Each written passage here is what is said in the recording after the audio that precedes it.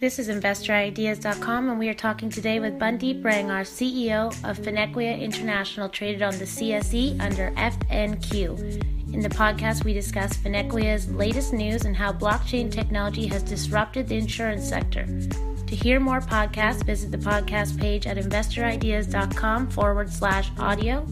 And a reminder you can also hear our podcast on Spotify, iTunes, TuneIn, Stitcher, Spreaker, iHeartRadio, and Google Play Music. Bundeep, thank you for joining us on the show today. Let's get right into it. Uh, Fineqia just announced the setup of a subsidiary company in Malta to hold the company's portfolio of blockchain, fintech, and cryptocurrency technology companies worldwide. Can you talk to our listeners about this strategy and why you chose Malta? Uh, thanks, Sally. Sure. Um, Malta is getting to build a reputation as being the kind of blockchain island or blockchain nation or blockchain country, whichever one you want to use, because it's really taking the lead in providing regulatory and legal certainty around the setup and operating, operating of a blockchain or crypto company. And for the kind of early innovators and pioneers, that's really critical, um, as it is for investors.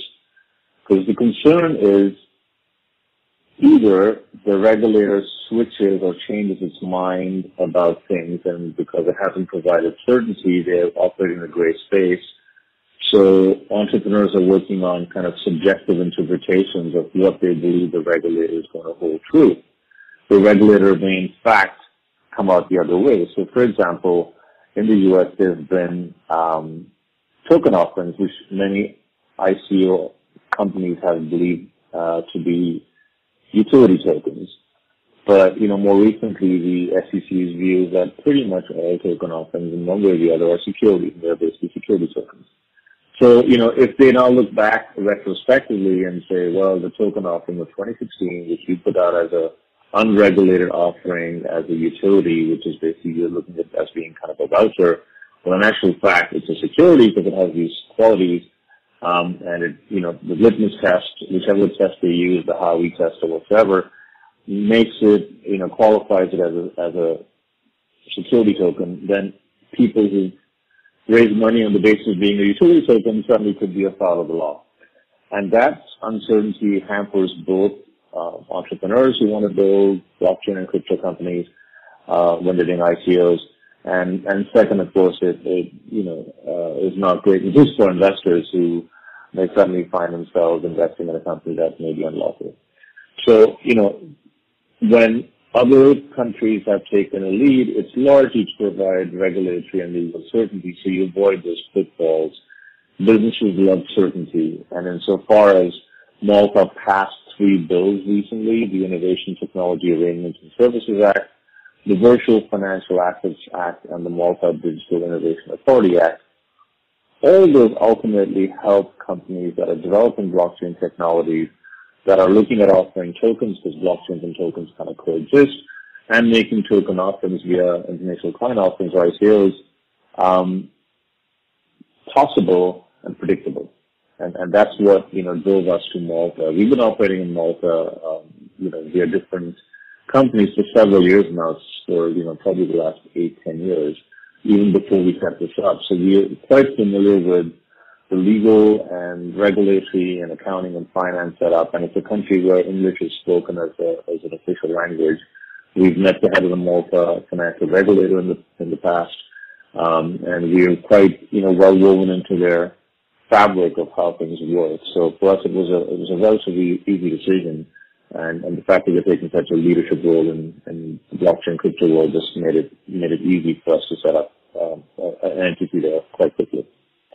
Great. Can you discuss some of the holdings that will be placed in Fineqia Investments Limited and what the criteria is looking for new technologies moving forward? Sure. So, you know, we um, We've announced three investments so, so far for Fineqia um, International, which is a parent company that's uh, based out of Canada and listed in Canada.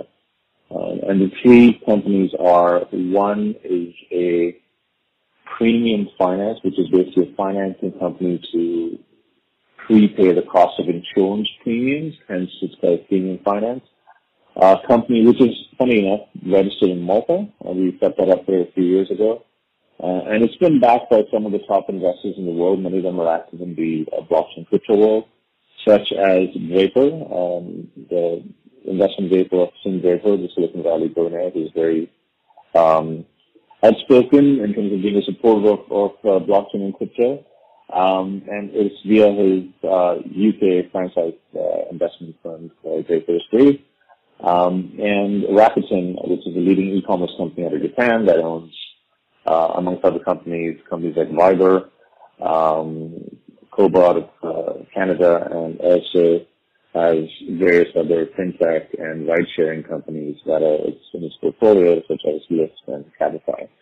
So, you know, we're, we're very happy to have him on board. And also, you know, from a Canadian perspective, the Thomson family, which is the, um, the uh, investment vehicle of Peter Thomson, namely Thomvest Ventures, is a shareholder. So for Fineqia to be a shareholder alongside them is actually great. We're in a great peer group, not even peer group, but a really fantastic group of investors.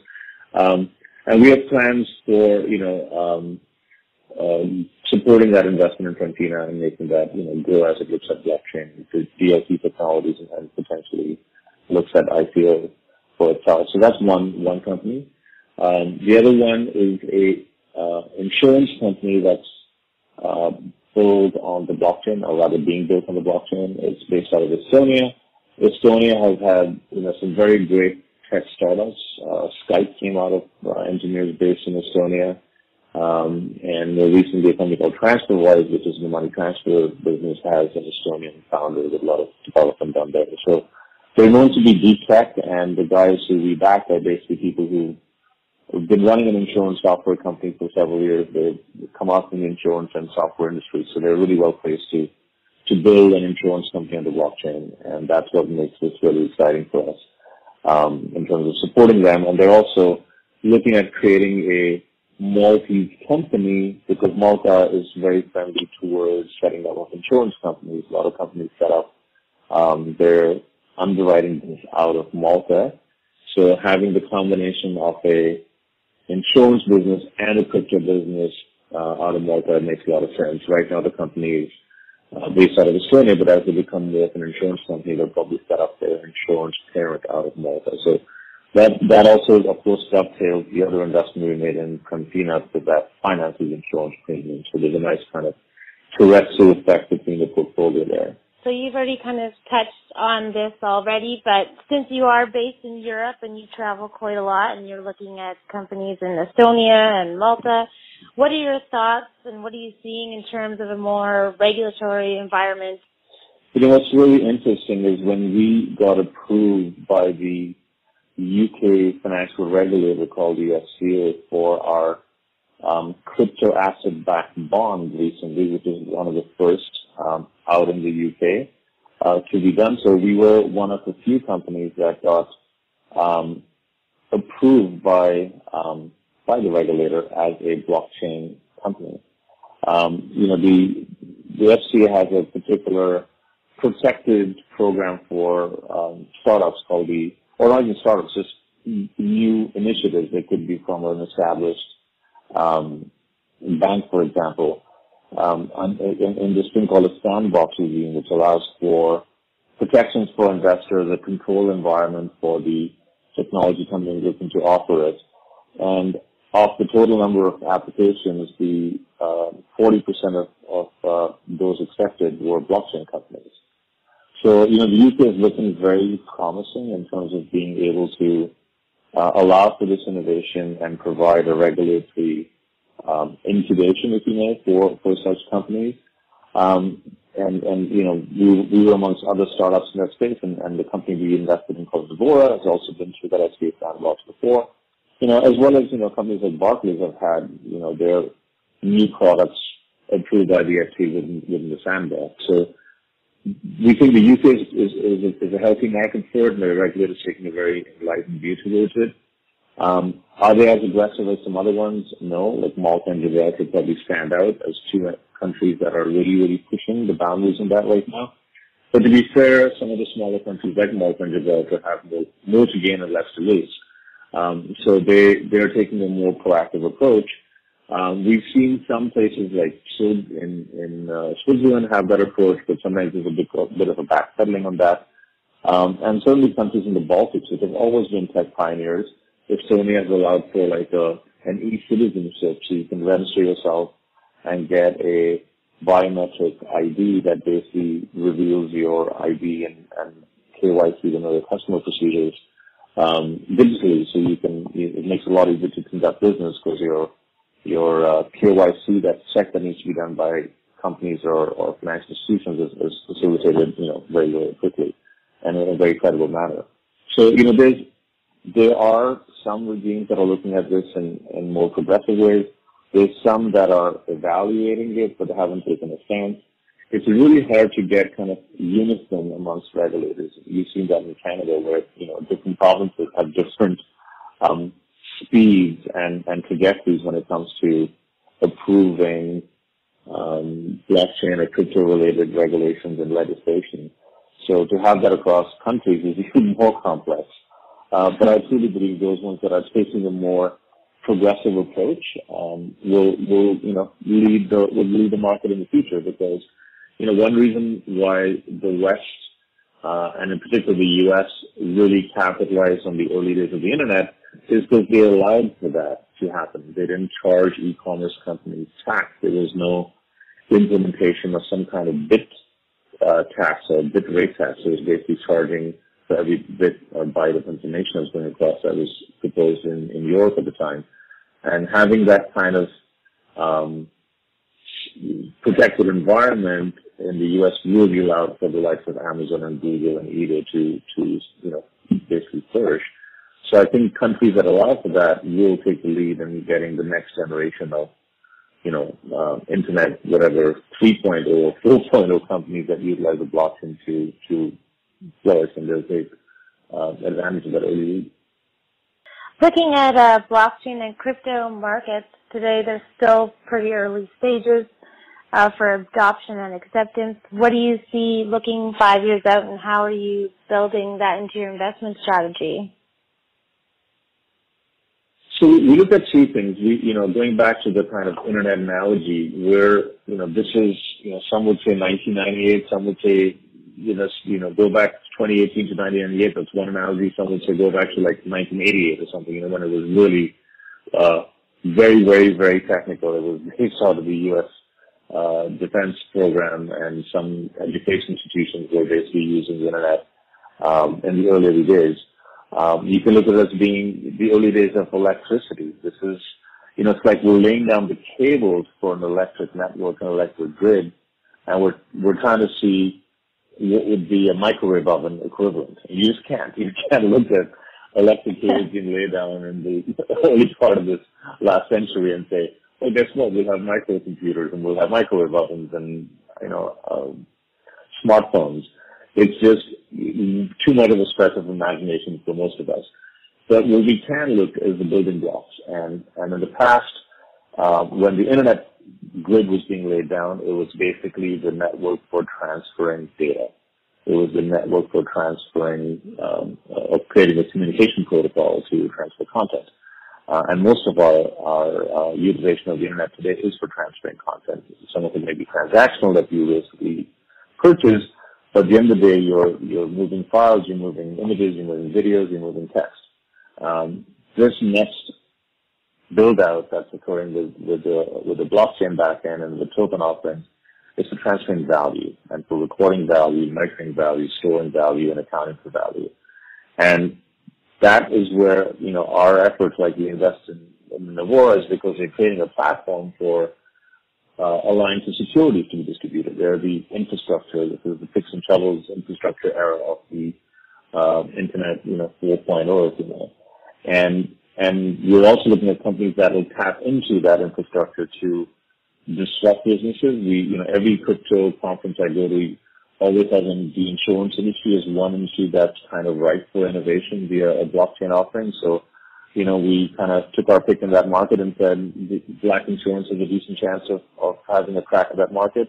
Um, and we've seen other companies that are, are fintech companies saying they want to use the blockchain back end to, you know, create a new business model and, and pivot away from a classic uh, pure play fintech model to a blockchain enabled one, and that's where Premfina fits into us. So, you know, in the kind of short to medium term, it's the infrastructure and early adopters that will use the blockchain and the cryptocurrency world to disrupt an existing industry that have good financial backing, that have a great vision, solid founding team, um, and, and basically have a crack at creating a whole new protocol, a whole new way of doing business for an existing line of business. So we're not looking at, you know, brand new businesses that haven't existed. This is insurance, this is financing that's been there, but it's doing it a different way and, and using the blockchain backend to transfer value and create different forms of settlement and reconciliation of, of value transfers in a much more efficient and transparent way than it's being done currently. So, you know, um, we're not restricted by geography. the one thing about the crypto world is that, you know, geography don't matter in the same manner they did in the hmm. past. Businesses are global from day one and, and you build a DLT and you build a foundation, play with that to kind of, you know, open out the architecture, then you're really playing to a different vision of the world in the future. It's just you really have to stretch out your imagination to start thinking of microwave ovens when you're still laying on the copper. Do you think in five, ten years out, Starbucks will still be saying no to cryptocurrencies, or do you think it will be more accepted by then? You know, there's the, the one thing about the internet that really helped its adoption was the fact that it went from being something that was kind of um, opaque and obscure and, and, hard to understand to very to, to becoming something very very relevant, meaningful, and, and easily digestible. Particularly email. It was the one killer app that made things work really well.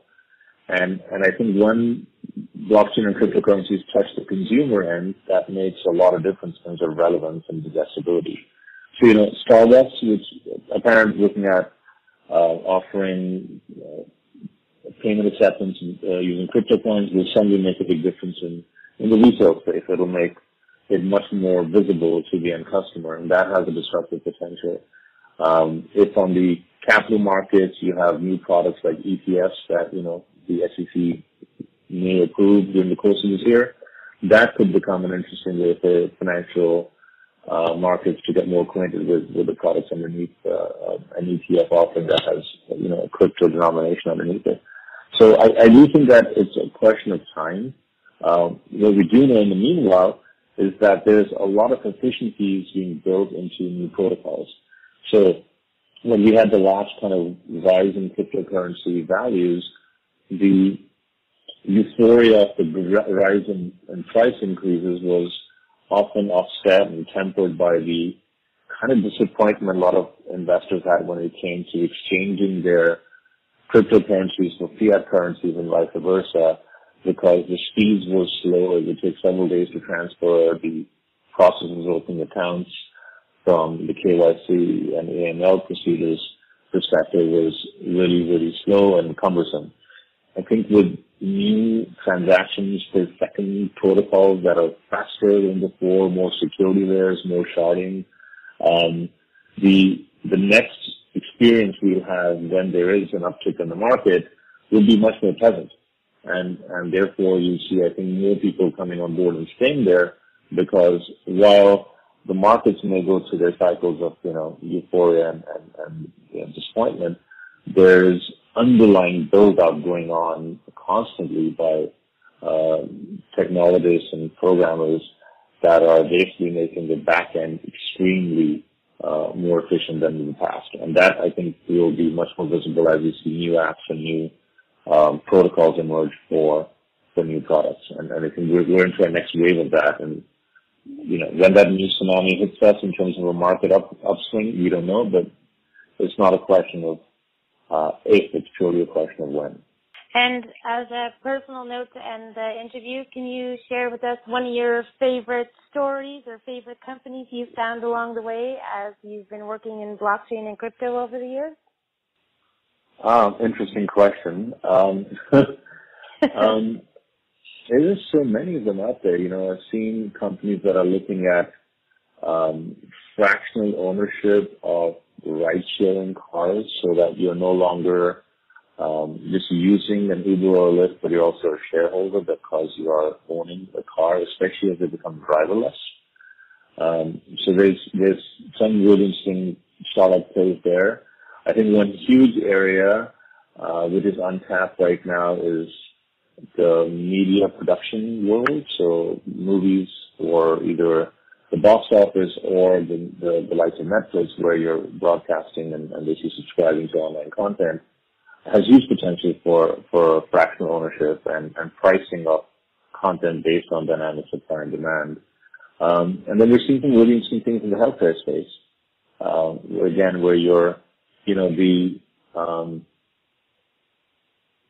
the kind of synergy between your lifestyle and the pricing of your insurance based on the, risk that comes out of that lifestyle gets dynamically priced. So, you know, if I had to pick an area that I found interesting to answer your question in a long, kind of convoluted way, um, I believe that, you know, there's, there's a couple of companies that we're seeing that are trying to create the equivalent of a credit score, but creating your, your insurance score.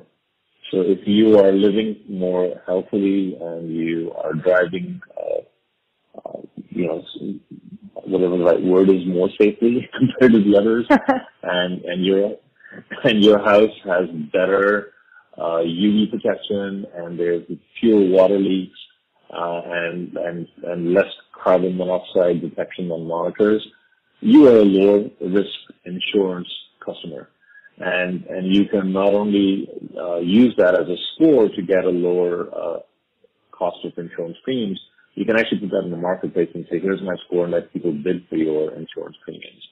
And that's super early, um, but I think that's where the industry will go because just like the credit scoring industry emerged in the past based on your uh, history of repayment of debt, I think there's going to be this combination of telematics meets, you know, your, your app on your phone or your watch, which, which governs your, uh, which monitors your, your lifestyle along with your home and, and how kind of safe you're keeping it and, and, and the dynamic pricing that for insurance is going to be really interesting play that's, you know, be super disruptive for very kind of top-down methods of looking at pricing insurance based on generic screens rather than tailored insurance products for individuals. Does that make sense? No, that's great. Very exciting. Well, thank you so much for the interview today, Bundeep. Fantastic. Thank you, Kelly. To help you follow and track sectors, Investor Ideas has created stock directories of publicly traded stocks for investors to use as a research tool to start trading and investing. Visit investorideas.com forward slash membership to learn more about our stock directories and leading sectors. Investor Ideas reminds all listeners to read our disclaimers and disclosures on the Investor Ideas website, and this podcast is not an endorsement to buy products or services or securities. Investors are reminded all investment involves risk and possible loss of investment. For disclosure purposes, Fineqia International is a paid for news, PR, and social media client on InvestorIdeas.com.